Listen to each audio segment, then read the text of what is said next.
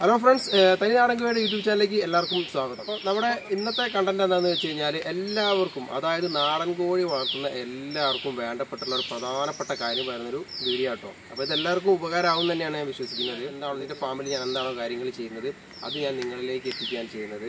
അപ്പോൾ ഇത് നൂറല്ല നൂറ്റൻപത് ശതമാനം എല്ലാവർക്കും അതായത് ഞാൻ തുടക്കക്കാർക്ക് വേണ്ടിയിട്ടാണ് പറയുന്നത്.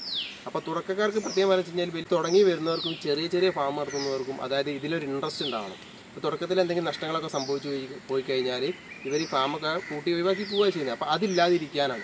അപ്പം അത് എങ്ങനെയാണെന്നുള്ളത് പറയുന്നതിലുള്ള വീഡിയോ കേട്ടോ അപ്പോൾ നമുക്ക് നേരെ വീഡിയോയിലേക്ക് നമ്മൾ കോഴി വളർത്തുമ്പോൾ അതായത് ഏറ്റവും കൂടുതൽ ആൾക്കാർ നേരിടുന്ന ഒരു വെല്ലുവിളിയാണ് എന്തെന്ന് വെച്ച് കഴിഞ്ഞാൽ ഈ കോഴിക്കുഞ്ഞുങ്ങൾ അതായത് ഈ കോഴിക്കുഞ്ഞുങ്ങൾ വിരിഞ്ഞ് വന്ന് ഒരാഴ്ചക്കാകുമ്പോഴത്തേക്ക് ചത്തുപോകാം അതായത് ഈ കോഴിക്കുഞ്ഞുങ്ങൾക്ക് ഫുഡ് ദഹിക്കാതെ ചത്തുപോകുന്ന ഒരു സംഭവമുണ്ട്. അപ്പം അത് എങ്ങനെയാണ് എന്താണെന്ന് വെച്ച് കഴിഞ്ഞാൽ ഈ പ്രധാനമായിട്ടുള്ളതും എങ്ങനെ വരുന്നത് വെച്ച് കഴിഞ്ഞാൽ ഈ കോഴിക്കുഞ്ഞുങ്ങൾക്ക് നമ്മൾ ഒരുവിധ ആൾക്കാർ ഈ ചെറു എന്താ പറയുക കുറച്ചൊക്കെ വളർത്തുന്ന ആൾക്കാർ ഈ അരിയും കാര്യങ്ങളൊക്കെ കൊടുത്താണ് വളർത്തുന്നത്.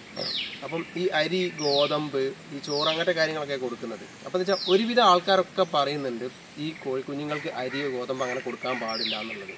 പക്ഷെ ഞാൻ പറയുന്നത് അത് കൊടുക്കണം തന്നെയാണ്. അത് എന്തുകൊണ്ടാണെന്ന് വെച്ച് കഴിഞ്ഞാൽ ഈ അരി ഗോതമ്പ് ഇതിനകത്തൊക്കെ എന്ന് പറഞ്ഞു കഴിഞ്ഞാൽ ഈ കോഴിക്കുഞ്ഞുങ്ങൾക്ക് എന്താ പറയുക നമ്മൾ ഈ ചാടാനും ഓടാനൊക്കെ ഉള്ള ഊർജം ഉണ്ടാവില്ലേ? ഈ കാർബോഹൈഡ്രേറ്റ് ഈ സാധനം കൂടുതലുള്ളതാണ് ഈ സാധനങ്ങളിലൊക്കെ. അപ്പോൾ എന്താ വെച്ച് കഴിഞ്ഞാൽ ഈ കോഴികൾക്ക് അത് കൊടുക്കണം. അത് എങ്ങനെ കൊടുക്കണം എന്നുള്ളതാണ് ഞാൻ പറയുന്നത്. അതായത് നമ്മൾ ഈ തലേ ദിവസം അരിയൊക്കെ ആണെങ്കിൽ ഒരു രണ്ട് മണിക്കൂർ മുന്നേ നമുക്ക് വെള്ളത്തിൽ കുതിർത്തിയിട്ട് കൊടുക്കാം. ഈ ഗോതമ്പ് പോലത്തെ സാധനങ്ങളൊക്കെ ആണെങ്കിൽ നമ്മൾ തലേ ദിവസം തന്നെ വെള്ളത്തിലിട്ടിട്ട് കുതിർത്തിയിട്ട് പിറ്റേന്ന് രാവിലെ വേണം കൊടുക്കാൻ അല്ലാതെ കൊടുത്തു കഴിഞ്ഞാൽ ഇതൊരു ഹാർഡ് ഫുഡ് ആയതുകൊണ്ട് ഈ കുഞ്ഞുങ്ങൾക്ക് ഇത് ദഹിക്കൂല. അപ്പം ഈ രാവിലെ നമ്മൾ കൊടുക്കുന്ന ഫുഡ് ഇതായിരിക്കും. അപ്പം ഇത് കഴിക്കുമ്പം അതങ്ങനെ കല്ലിച്ച് കിടക്കും. അപ്പം നമ്മളെ പെട്ടെന്ന് ശ്രദ്ധിക്കൂല. കോഴിക്കുഞ്ഞുങ്ങൾ പെട്ടെന്നൊന്നും അതായത് നമ്മൾ കൂട്ടിലേക്ക് ചെല്ലുന്ന സമയത്ത് ഈ സിംറ്റംസ് ഒന്നും കാണൂല. ഒരു നമ്മളൊരു കുറച്ച് നേരം അവരെ വാച്ച് ചെയ്ത് നിൽക്കുമ്പം അവർ മൂലലോ അവിടെ ഇവിടെയൊക്കെ നിൽക്കുമ്പോഴാണ് നമുക്ക് മനസ്സിലാവുക. അല്ലാത്ത സമയത്ത് നമ്മൾ പെട്ടെന്ന് ചെല്ലുമ്പോൾ ഫുഡിന് വേണ്ടി ഇവർ ചാടി കഴിക്കുമ്പോൾ നമുക്കൊന്നും മനസ്സിലാവില്ല. അതാണ് മെയിനായിട്ടുള്ള കാര്യം. അപ്പോൾ എന്ന് വെച്ച് കഴിഞ്ഞാൽ ഏറ്റവും കൂടുതൽ ആൾക്കാർ നേരിടുന്ന പ്രശ്നമാണ് കോഴിക്കുഞ്ഞുങ്ങൾ ചത്തുക. ഒരുപാട് ആൾക്കാർ എനിക്ക് കമന്റ് ചെയ്തിട്ടുണ്ട്. ഈ കോഴിക്കുഞ്ഞുങ്ങൾ ഇത്ര ആയപ്പോൾ ചത്തുക ചത്തുക. അപ്പോൾ അടുത്ത ദിവസം തന്നെ ഇപ്പം ഒരാളെ നമുക്ക് അങ്ങനെ മെസ്സേജ് അയച്ചിട്ടുണ്ട്. അപ്പോൾ ഇതിന്റെ വീഡിയോ ഒക്കെ നമ്മൾ ഇങ്ങനെ സെപ്പറേറ്റ് ചെയ്തിട്ടില്ല. ഓരോ വീഡിയോനെ കൂടെ പറഞ്ഞു പോയിട്ടുള്ളൂ.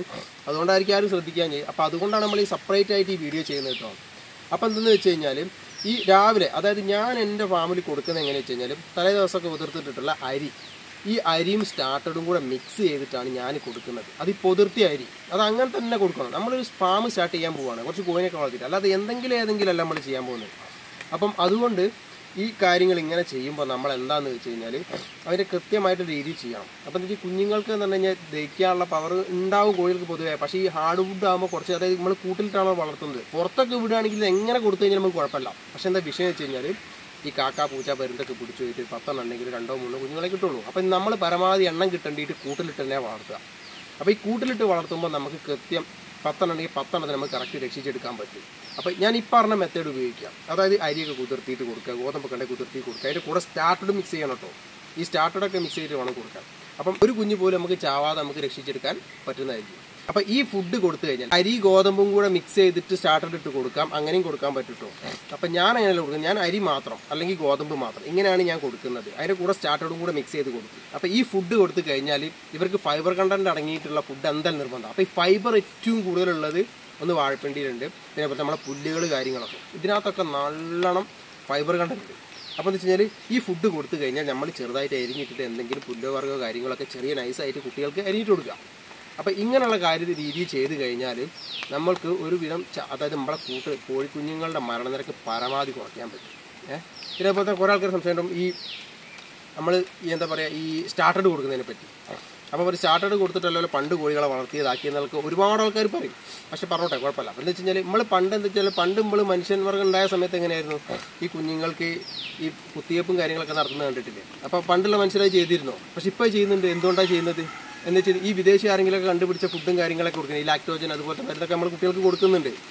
അപ്പം അത് കൊടുക്കുമ്പോൾ നമ്മളെ കുട്ടികൾ ആ വിദേശത്തെ രാജ്യ കുട്ടികാരിയാകുന്നില്ലല്ലോ ഇല്ല. ഈ നാടൻ കോഴി കുട്ടികൾക്ക് എന്ത് കൊടുത്താലും ഏത് മരുന്ന് കൊടുത്താലും അവർ ഈ നാടന്റെ രീതി എന്താണോ ആ രീതിയിൽ തന്നെ അവർ വളരെയും ഇതാവുകയൊക്കെ ചെയ്യുന്നുള്ളൂ. ഒരു മാറ്റം അവർക്ക് സംഭവിക്കുന്നില്ല. ഇത് അവരൊക്കെ രക്ഷിച്ചെടുക്കുക. ഇപ്പോഴത്തെ നമ്മളിപ്പോഴത്തെ കാലഘട്ടത്തിൽ പല രോഗങ്ങളുള്ളതുകൊണ്ട് അത് അവരെ ജസ്റ്റ് ഒന്ന് രക്ഷിച്ചെടുക്കാൻ വേണ്ടിയിട്ടുള്ള ഒരു മരുന്നാണ്. അപ്പോൾ അതൊന്നും ഇല്ലാതെ നമുക്ക് കൃത്യമായി വളർത്താൻ വളരെ പ്രയാസമാണ്. അപ്പോൾ ഈ മരുന്നും കാര്യങ്ങളൊക്കെ കോഴ്സ് അനുസരിച്ച് കൃത്യം കാര്യങ്ങളൊക്കെ കൊടുക്കുക. അതിന്റെ വീഡിയോ നമ്മൾ മറ്റൊരു ദിവസം നമ്മൾ ചെയ്യുന്നുണ്ട്. അപ്പോൾ ഈ അതായത് ഏറ്റവും പ്രധാനപ്പെട്ട നേരിടുന്ന വെല്ലുവിളി പറഞ്ഞാൽ ഈ ചത്തു പോകുന്നതാണ് കോഴിക്കുഞ്ഞുങ്ങൾ അപ്പം അത് കുറയ്ക്കാൻ വേണ്ടിയിട്ടുള്ള ചിലപ്പോൾ ഒരു അൻപത് കുഞ്ഞുങ്ങളൊക്കെ ഒരാളാണെങ്കിൽ ഇതുപോലെ ഫുഡ് കൊടുക്കുമ്പോൾ എങ്ങനെ പോയാലും ഒരു അഞ്ചെണ്ണൊക്കെ ചത്തു പോകും. അത് സ്വാഭാവികമാണ്. അത് നമ്മൾ സഹിച്ചേ പറ്റുള്ളൂ. ഏഹ് അപ്പം എന്താ വെച്ചാൽ മരണനിരക്ക് കുറയ്ക്കുക. അല്ലാത്ത രീതിയിൽ അത് നമ്മൾ പറഞ്ഞ അല്ലാത്ത രീതിയിൽ കൊടുക്കുകയാണെങ്കിൽ ഒരു അൻപത് കുഞ്ഞുങ്ങൾ ജസ്റ്റ് ഉണ്ടെങ്കിൽ ഒരു പത്തോ പതിനഞ്ചോ നമുക്ക് കിട്ടുള്ളൂ ബാക്കിയൊക്കെ ചത്തു പോയിട്ടുണ്ടാവും. പറഞ്ഞ രീതി അല്ലാത്ത രീതിയിൽ വളർത്തുമ്പോൾ സംഭവിക്കുന്നത്. അപ്പോൾ എല്ലാവരും ശ്രദ്ധിച്ചോളാം.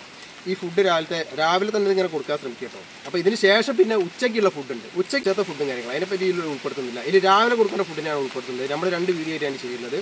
അപ്പോൾ ഈ രീതിയിൽ നമ്മൾ അവലംബിച്ച് കഴിഞ്ഞാൽ കോഴിക്കുഞ്ഞുങ്ങൾ ചാവുന്നത് നമുക്ക് പരമാവധി കുറയ്ക്കാൻ പറ്റുകയും ചെയ്യും. അപ്പോൾ ഈ കോഴിക്കുഞ്ഞുങ്ങൾ ചാവാത്തക്കുമ്പോൾ നമുക്ക് ഭയങ്കര ഇൻട്രസ്റ്റ് ആവും. ഈ ഫാം വളർത്തിക്കോണം അത് ആ കുഴപ്പമൊന്നുമില്ല. കോഴിക്കുഞ്ഞ് കുഴപ്പമൊന്നുമില്ല. നല്ല രീതിയിൽ വളരുന്നുണ്ട്.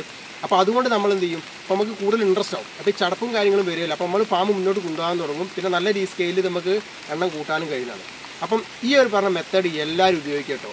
ഏഹ് അപ്പം ഈ വീഡിയോ എന്താ വെച്ച് കഴിഞ്ഞാൽ എല്ലാവർക്കും ഉപകാരപ്പെടുന്ന എനിക്ക് നൂറ് ശതമാനം ഉറപ്പുണ്ട്.